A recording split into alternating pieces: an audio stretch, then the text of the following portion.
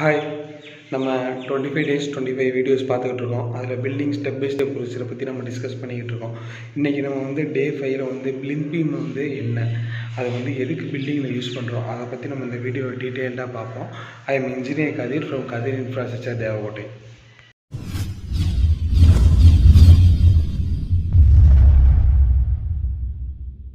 plinth பீம்னா என்னென்னா நம்ம ஃபவுண்டேஷனில் வந்து கீழே வந்து column box concrete four feet போட்டோம்ல அந்த காலம் பாக்ஸ் காங்கிரீட்டுக்கு முன்னாடி வந்து நம்ம வந்து மேட் ஃபுட்டிங் அதெல்லாம் புடையணும். கீழே வந்து அது எதனால் வந்து அந்த ஃபவுண்டேஷன்னா மேலேருந்து வர லோடை ஃபுல்லாக கீழே வந்து மண்ணுக்கு வந்து ஈவனாக அனுப்புறது. அதை வந்து எல்லா காலம் இப்போ நம்ம பில்டிங் எடுத்துக்கிட்டோம்னா அந்த ஒரு தௌசண்ட் ஸ்கொயர் ஃபீட் பில்டிங்கில் வந்து ஒரு ஃபிஃப்டீன் காலம் இருக்குன்னா எல்லாமே செப்பரேட்டாக இருக்கும். பிளிங்க் பீமுக்கு முன்னாடி வரைக்கும் அதாவது ப்ரிக் ஒர்க் ஸ்டார்ட் பண்ணுறதுக்கு முன்னாடி வரைக்கும் இப்போ வந்து பிளிங்க் பீமோட பர்பஸ் என்னென்னா அதில் வந்து எல்லா காலத்தையுமே கனெக்ட் பண்ணுறது கனெக்டிங் ஆல் வெர்டிக்கல் மெம்பர் அந்த காலம்ஸ் எல்லாத்தையுமே கனெக்ட் பண்ணும் எதனால் அது வந்து கனெக்ட் பண்ணுன்னா மேலே வந்து நம்ம பேஸ்மெண்ட் ப்ரிக் ஒர்க்லாம் பிளிங்க் பீம் பண்ணி முடிச்சுட்டு பேஸ்மெண்ட் ப்ரிக் ஒர்க் பண்ணுவோம். அதுக்கு மேலே வந்து காலம் பாக்ஸ் காங்கிரீட் போடுவோம். அப்புறம் லிண்டல் ஒர்க் வரும். அப்புறம் வந்து லிண்டல் காங்கிரீட் போடுவோம்.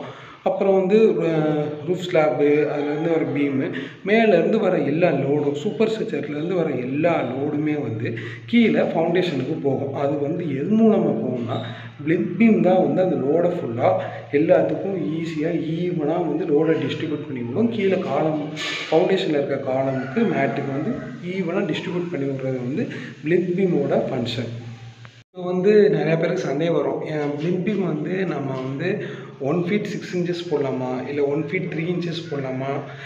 சிக்ஸ்டீன் ஓம் ராடில் தான் நம்ம பிளிம்பிங் போடணுமா? இல்லை டுவெல் ஓம் ராடில் தான் போடணுமான்னு? அதை வந்து நம்ம பில்டிங்க்கு வந்து நம்ம ப்ராப்பராக ஸ்ட்ரக்சரல் ட்ராயிங் வாங்கிட்டு எவ்வளோ ஹைட்டுக்கு வந்து நம்ம பிளிம்பிங் போடணும்? என்ன ராடு போடணும்? அதை வந்து நம்ம ஸ்ட்ரக்சரல் ட்ராயிங் வாங்கி டீட்டெயிலாக அதில் இருக்க மாதிரி நம்ம டிசைன் பண்ணி நம்ம பில்டிங்க்கு பண்ணணும்.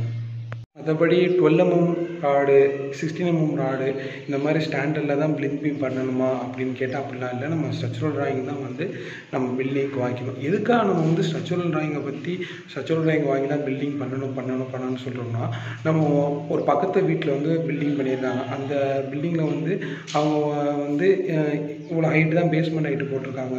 இவ்வளோ தான் பிளிங்க் பீம் ஹைட்டு போட்டிருக்காங்க. அவங்க ஃபவுண்டேஷன் வந்து கீழே வந்து சிக்ஸ் ஃபீட் தான் போட்டிருக்காங்க அதே மாதிரி நம்மளும் போடுவோம்னா அந்த மாதிரி ஸ்டாண்டர்ட்லாம் இல்லை. அவங்களோட பில்டிங்கோட அதாவது அவங்க கட்டின பில்டிங் வந்து கிரவுண்ட் ஃப்ளோர் மட்டும் கட்டியிருக்கலாம். நம்ம வந்து ஜி ப்ளஸ் டூ கட்டலாம். அவங்களோட லோடு வந்து வேறு மாதிரி கேரி ஆகும் கீழே ஃபவுண்டேஷனில் நம்ம லோடு வேறு மாதிரி கேரி ஆகும். நம்ம பில்டிங்க்கு ஏற்ற மாதிரி நம்ம ப்ராப்பராக சச்சுரல் ட்ராயிங் வந்து நம்ம இன்ஜினியர்கிட்ட வாங்கிட்டு நம்ம டி டிசைன் பண்ணிக்கணும்.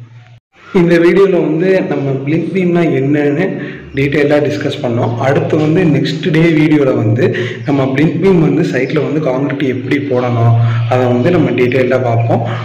இந்த வீடியோ கண்டிப்பாக உங்களுக்கு யூஸ்ஃபுல்லாக இருந்திருக்கும்னு நினைக்கிறேன். தேங்க்யூ தேங்க்ஸ் ஃபார் வாட்சிங்